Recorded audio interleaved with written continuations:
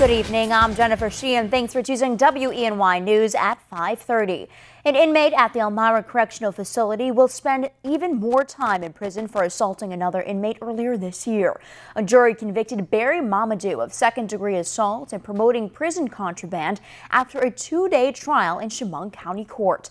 Back in February, authorities say Mamadou slashed another inmate with a jagged piece of folded metal. The incident happened in the prison infirmary. Mamadou is currently serving 13 years in prison for a New York City robbery in 2012. Now he faces up to seven years in prison on this conviction. The term will run consecutively to his current sentence. A shed went up into flames this afternoon at a home on Veteran today, also damaging the nearby garage and home. The fire happened behind one of the homes on Chrome Link Road in the town of Veteran around 1.30 today.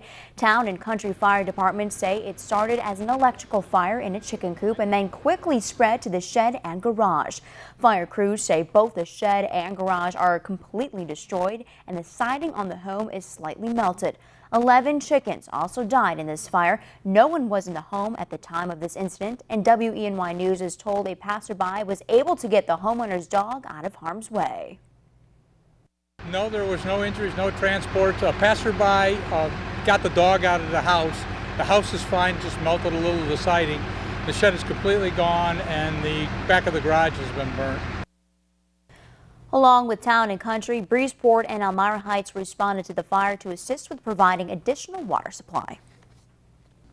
Two Elmira men are in the hospital today after they were robbed in their home last night, and police say the suspects are still on the loose. WENY's Logan Wilson has more on the incident and how neighbors feel about the safety of their neighborhood.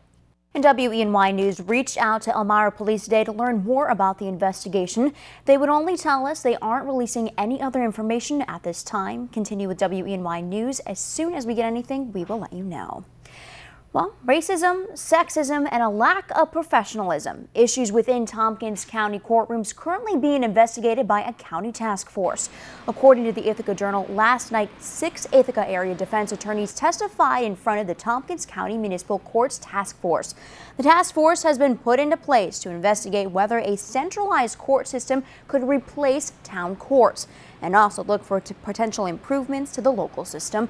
Ithaca lawyer Kelly Dam says because the judges have a lack of training on how to preside over cases, they apply personal feelings to cases rather than the law. The task force next meeting is scheduled for 4.30 in the evening on October 28th in the Governor Tompkins building in Ithaca. New York's Ethics Commission reports lobbyists spent nearly $131 million in the first half of this year trying to influence government decisions in the state. Funds were especially used for education tax credits, limits on charter schools, and tax breaks for New York City developers. The total is $21 million higher than the same time period last year. The Joint Commission on Public Ethics says the Coalition for Opportunity in Education spent $5 million, followed by $3.8 million by New York State United teachers. The commission will post the complete data online this Friday. The Area Agency on Aging in the Northern Tier is feeling the squeeze from the Pennsylvania state budget impasse. WENY's Natalie Abruzzo has more about the impact the financial strain is having on Pennsylvania seniors. One Horseheads middle schooler is taking on a big project yet again, but she can't do it alone. WENY's Leanne DeRosa has a story of a community-wide volunteer project that honors men and women who fight for our country. Thank you so much, Leanne. We all love Sophie over here at WENY. And coming up, the YWC of Elmira and the Twin Tiers named a new CEO and executive director. She explains what her plans are for the future of the organization next. Weather Service out of Binghamton and State College ending the growing season, so oh. there will be no more frost or freeze uh, warnings or advisories issued, even though this weekend we're going to be in the 20s. You won't see any more of those advisories coming out of the Weather Service until next spring. See, and now it's time to enjoy the fruits of all the labor that happened over the summer. We've got squashes, apples, pumpkins, I mean, whatever. Technically, the growing season is still going on. Yeah. I mean, we haven't had a hard freeze area wide yet, but that'll probably change this weekend. All right, perfect. Thank okay. you so much, Joe. The Elmira and the Twin Tiers YWCA welcomed a new CEO and executive director today. Michelle Johnson, an Elmira native and former board member, was appointed the position earlier this morning. Johnson succeeded Pat Lambart, who retired after leading the nonprofit for almost five years.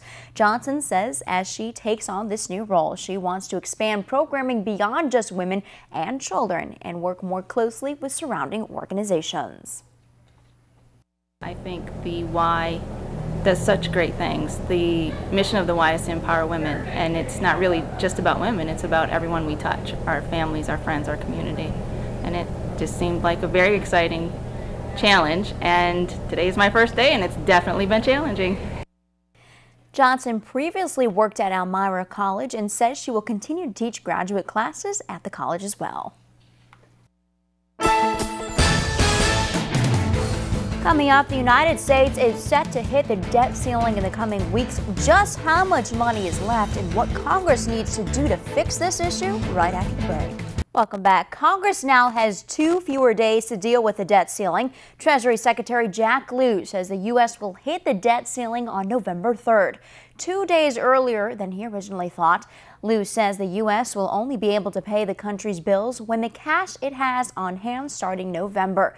And that will not be even enough to cover all the bills on some of those days. The debt ceiling is a cap set by Congress on how much outstanding debt the federal government can have. It's currently set at just over $18 trillion. Congress is expected to debate whether to suspend or raise the debt ceiling next week. After a disappointing season on the ice, Cornell men's hockey team is looking to hit the reset button. Hear from the head coach coming up. Sports is next. Game five for the Mets in LA tonight. So it is lots of sports going on. Obviously, there's also Thursday night football. Perfect. Thank you so much. Joe's got a last look at your weather. And whoever thought the Cubs could be so close to winning a World Series?